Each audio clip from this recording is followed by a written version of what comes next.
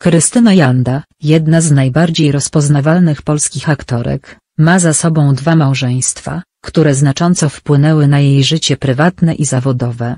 Pierwszym mężem Jandy był Andrzej Seweryn, również wybitny aktor, który początkowo był dla niej nauczycielem. Ich związek przyniósł na świat córkę Marię, która później również podążała drogą artystyczną, często współpracując z matką.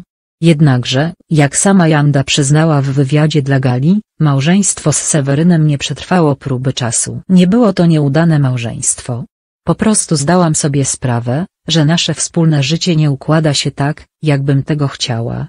Byłam młoda i inaczej patrzyłam na przyszłość, wyznała Janda. Rozwód z Sewerynem nie zakończył jednak życia uczuciowego Jandy.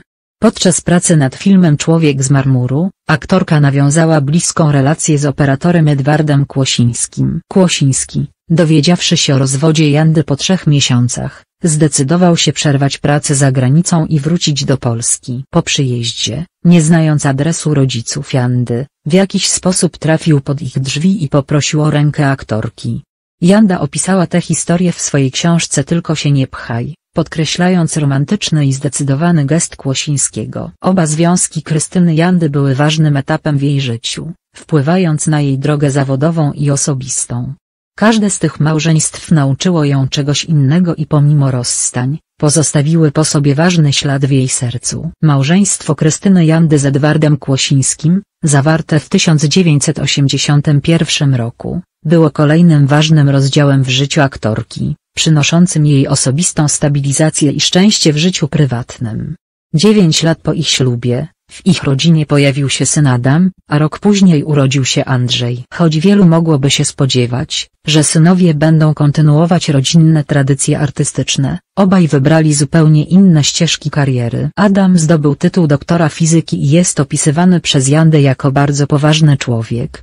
Andrzej z kolei, po ukończeniu amerykanistyki, zajął się grafiką komputerową, wykazując zdolności wielostronnego talentu. Krystyna Janda z wielkim szacunkiem podchodzi do życzeń swoich synów, którzy preferują życie poza blaskiem fleszy i nie życzą sobie upubliczniania swojego wizerunku. W rozmowie dla Dzień Dobry TVN, Janda podzieliła się doświadczeniem związanym z reakcją jednego z synów na niechciane pojawienie się na tle zdjęcia, co skłoniło ją do jeszcze większej ostrożności w kwestii dzielenia się prywatnymi informacjami. To pokazuje, jak bardzo aktorka ceni i szanuje prywatność swojej rodziny, stawiając ją ponad swoją publiczną działalność.